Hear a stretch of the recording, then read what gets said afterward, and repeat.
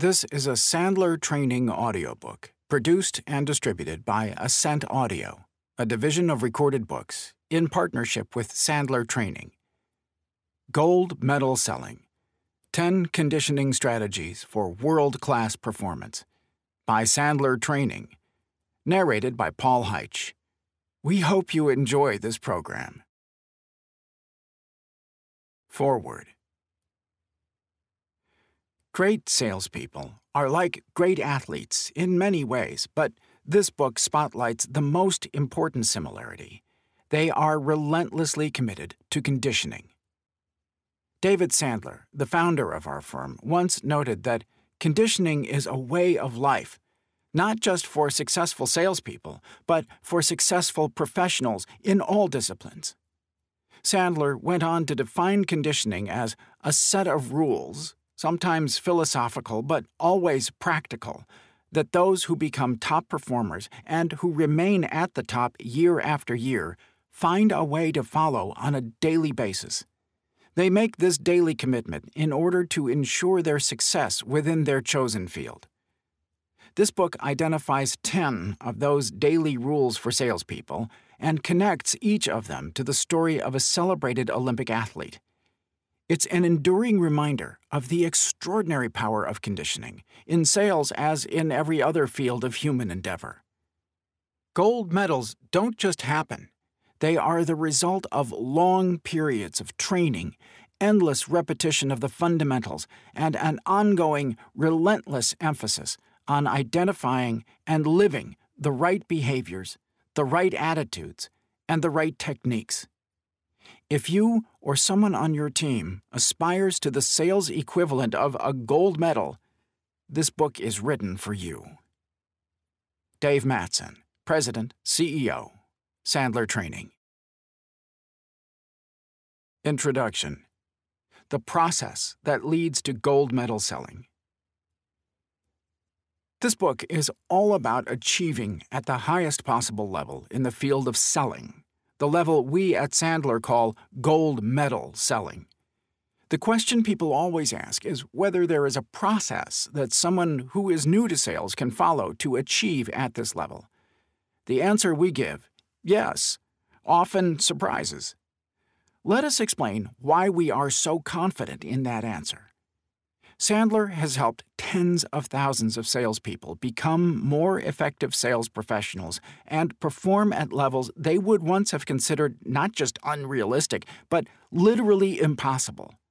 More than one of these clients has told us that the Sandler process helped them take their game to a world class level, a level of performance akin to that of a superstar athlete.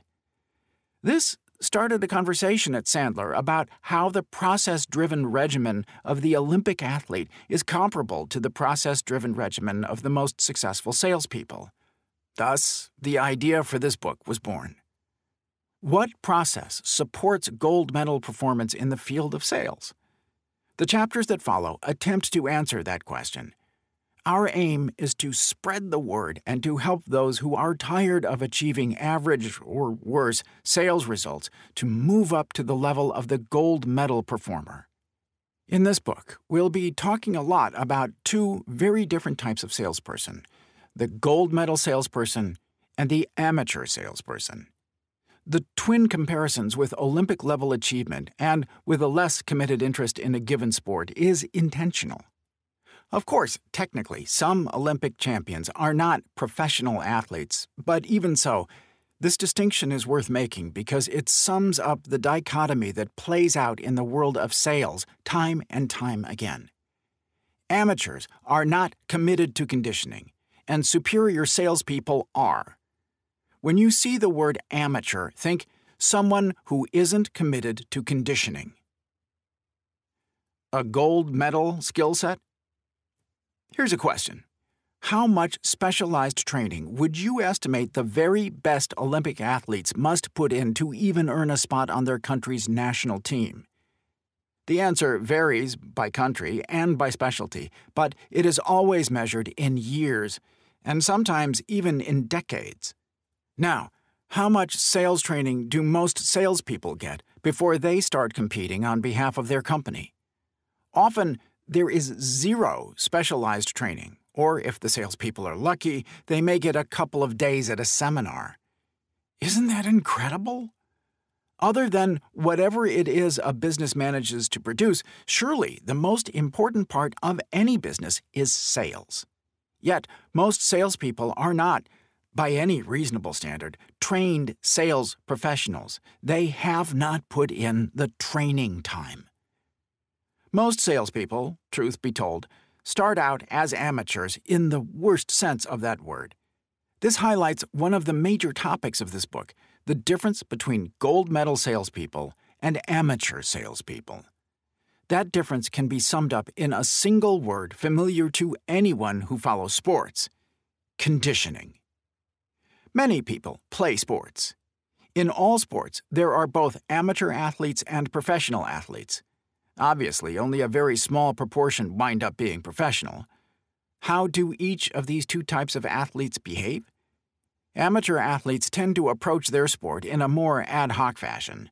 They practice and play when they want to and generally are average, or worse, in terms of their results when compared to the very best in their field. Professional athletes, by contrast, are highly focused. They follow well defined practice routines and they achieve exceptional results compared to amateur athletes. Are all sales gyms equal? Many sales leaders find themselves looking around for training and support for their team. What they find are sales systems that are technique based and generally built around one or two day courses. These sales approaches can provide some short term improvement to results, but very rarely do they turn amateurs into professionals. Sending salespeople to one of those courses is a lot like amateurs occasionally going to the gym and just doing the basics. Long term, sustainable improvement is unlikely. There has to be a better way. Indeed, there is. Welcome to the Sandler Sales Gym. This is where gold medal salespeople are born. The Sandler selling system methodology is like a holistic, all encompassing sales gym that emphasizes conditioning on the same scale and with the same intensity as that adopted by the world's best athletes.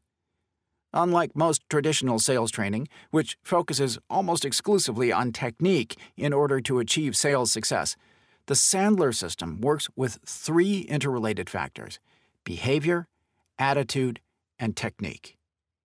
Behavior relates to having a systematic approach for reaching sales goals, muscle memory, if you will. Attitude has to do with your outlook. Technique consists of the tactics and strategies you put into practice. Using all three of these interrelated factors, you have a much greater opportunity for sales success. All of these will be covered in this book. The sales gym also provides ongoing reinforcement and support. This is another reason that working out at the sales gym consistently creates long lasting sales performance improvement. Here at the sales gym, you'll learn to work with the three sales muscles groups behavior, attitude, and technique, and the 10 most important sales muscles if you work to improve them, you will be well on the road to achieving at the gold medal level. Based on the Sandler system, this book offers a proven 10 point program that enables salespeople to develop as professionals and take guidance from the way Olympic athletes train and perform. Note Building your sales muscle requires training and ongoing reinforcement at the Sandler Sales Gym. This book is only a start but nothing good happens without a start, does it? On your mark, get set, go. Sales muscle number one What you believe becomes your reality. Worrying gets you nowhere. If you turn up worrying about how you're going to perform, you've already lost.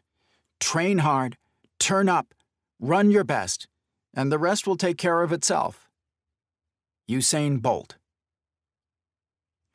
Usain Bolt an eight time Olympic gold medalist, is the first to hold simultaneous world records in both the men's 100 meter and 200 meter categories since automatic time measurements became mandatory in 1977, a feat that places him at the pinnacle of human athletic endeavor.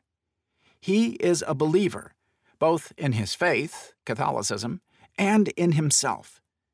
During his extraordinary career, he was widely acknowledged for his extraordinary confidence, trusting in abilities rooted in years of training to hone both his physiology and his finely tuned motor skills. When Bolt got ready to run a race, he had good reason to believe that he had prepared harder and longer than anyone else on that track. Bolt had a clear strategy that he followed with great discipline in each and every race. In the 100 meter event, for instance, he divided the race into sections and pursued a distinct process for each. In the first half of the race, he began racing tall and upright out of the blocks. At 50 meters, he gave himself the opportunity to glance left and right to check his placement amongst his competitors. Most crucially, 10 meters from the finish line, Bolt locked in beliefs he had earned from years of conditioning assuring himself with an internal soliloquy aimed at his competitors You are not going to catch me. It doesn't matter who you are, it doesn't matter what you are doing. That internal monologue confirmed a deep, unshakable belief in his own potential. Kindling that belief into a roaring flame is a hallmark of gold medal athletes, and it is a hallmark of gold medal salespeople as well. Such self assurance isn't arrogance, and it isn't misplaced. Gold medal performers earn this belief through dedication and persistence. They realize it doesn't happen automatically or by accident. They commit to instilling a healthy belief in their own potential and strengthening it each and every day with constant conditioning and a devotion to the ideal of learning more practicing more, and executing at a higher level than ever before. That's what makes them champions. Amateurs versus gold medal salespeople. Amateur salespeople tend to think that reality is a fixed concept. Some of them feel that what happens to them is not really within their control and that they are purely or mostly victims of circumstance. These amateur salespeople say things like, It's a tough market out there, or Gatekeepers are keeping me from getting through to senior decision makers. After events confirm their self fulfilling prophecies, they feel they have evidence of these truths. They then make this their reality. I just can't get past gatekeepers, they cry. Surprise, surprise, this is what happens from that moment forward. Gold medal salespeople, by contrast, do not let outside circumstances deter them from anything, including prospecting. Whether gatekeepers hang up, prospects tell them never to call back, or a deal that is about to be signed falls through, they assume that reality is up to them to define. External factors do not affect the self belief of the gold medal sales professional. The truth is that salespeople are responsible for their attitude and behavior, and yes, their own reality, no matter what happens. The professional salesperson knows that the control and creation of a belief system is up to them. This, in turn, impacts directly on the results achieved. All the thoughts in your head, whether helpful or unhelpful, are just opinions that you have come to accept as true. The only real truth is that what you think will determine what you see and perceive as reality and what you feel as a result. You have control of your attitude, which means you, like Usain Bolt, have control of your reality. The science behind attitude. Your attitude, meaning your outlook on yourself, your life, and the world, comes directly from your beliefs. The thoughts that you hold dear are formed as a result of your life experiences and what you have been taught since you were a child. The trick is to start noticing this. Both gold medal athletes and gold medal salespeople understand the theory of belief systems. They have put this theory into practice to improve their performance by means of a system known as creative visualization. They learn to see themselves doing whatever is necessary to succeed before they actually do it. The self fulfilling prophecy what you believe creates your reality. The belief wheel is a reminder that your beliefs determine your attitude. Think again of what Usain Bolt recites in the final 10 meters of a race. You are not going to catch me. It doesn't matter who you are, it doesn't matter what you are doing. So, how does this distinguish gold medal salespeople from amateurs? To give just one example, gold medal salespeople always believe that they will hit their quarterly sales targets consistently. Because they have such a strong and powerful belief, they have an attitude of supreme confidence. This translates to how they interact with their prospects. What's more, gold medal salespeople are willing to follow a consistent weekly prospecting plan composed of mixed sales activities to ensure positive results. These sales professionals have a steadfast belief in themselves, and this belief determines the attitude and manner in which their actions are performed. The outcome is behavior that supports the targeted results. Fake it until you make it. Not everyone can be the world's fastest human. No one can close every deal. However, you are responsible for believing in yourself and for fulfilling your own potential to achieve. That's something you have in common with Usain Bolt. The difference between being an amateur performer and a gold medal salesperson is acting like an A player. An A player accepts that it is the individual's responsibility to get the very most out of their abilities.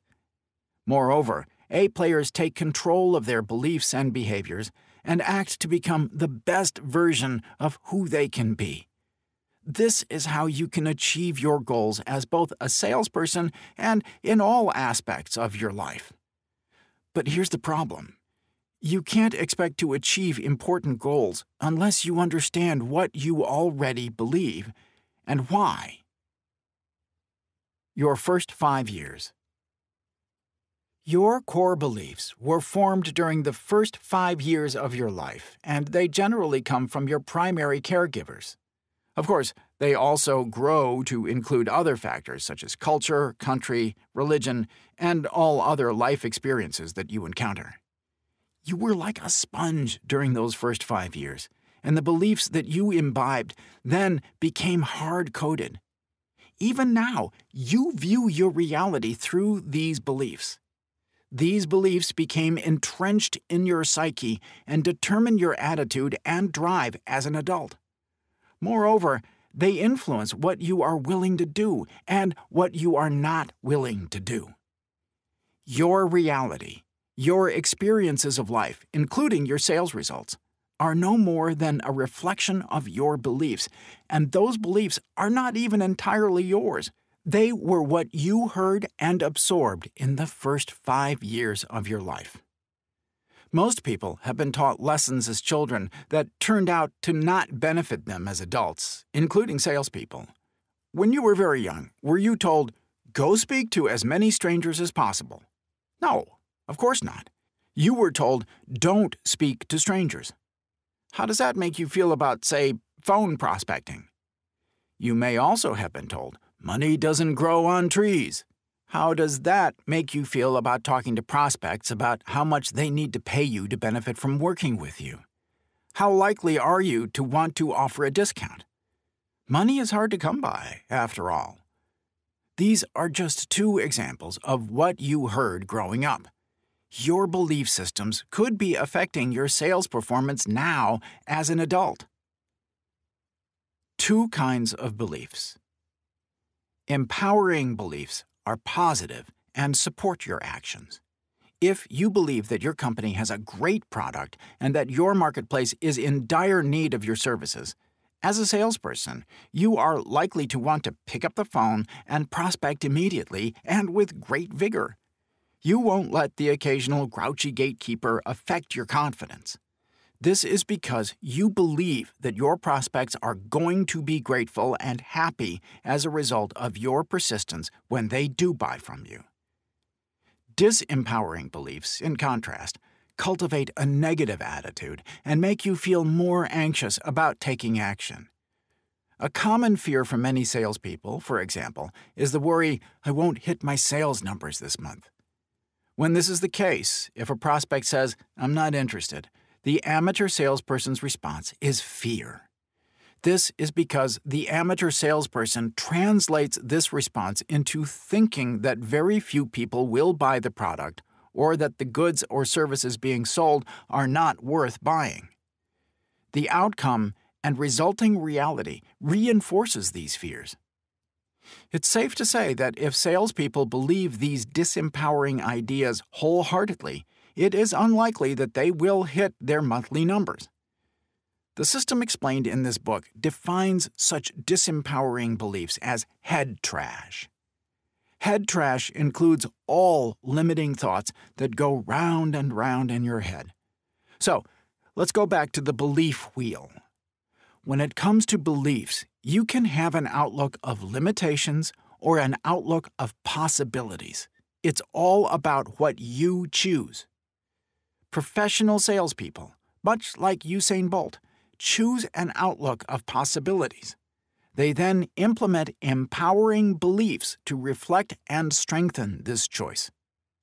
If you are willing to challenge and change your disempowering beliefs, then there will be a corresponding change in your results. Clara's story. When we first met Clara, she was struggling as a marketing consultant. She worked very long hours and believed that it was a tough market out there. She charged a daily rate of 500 pounds, 645 US dollars, and was constantly being beaten up on rates. We told her that her pricing was too low. Moreover, she was attracting penny pinching clients who did not value her. She found this hard to swallow. When we then recommended that she increase her daily rate to 1,500 pounds, she nearly fell over. Clara held the disempowering belief that she could not charge any more than 500 pounds per day for her services. Not only did she believe that people would not pay her that fee and selling at that level would be difficult, but also she believed her services were not worth more than 500 pounds and that she did not deserve to earn any more than that. These beliefs led her to a mental state of constant stress and depression, and they supported a behavior pattern we would describe as desperate. Basically, she was under such financial and emotional stress that she would take any meeting with anyone at any time even with someone who is manifestly unqualified to be a prospect. We slowly helped Clara to discover new, empowering beliefs that helped her change both her business and her life. Two of her new beliefs were the market does not dictate what I charge for my services, and I provide incredible value for the services that I deliver, and I charge accordingly. It did not happen overnight, but slowly and surely, Clara was willing to challenge her old head trash. Now, three years later, her daily rate is over 3,000 pounds per day, and she has a very impressive new client base. We hope you enjoyed this preview. To continue listening to this audiobook on Google Play Books, use the link in the video description.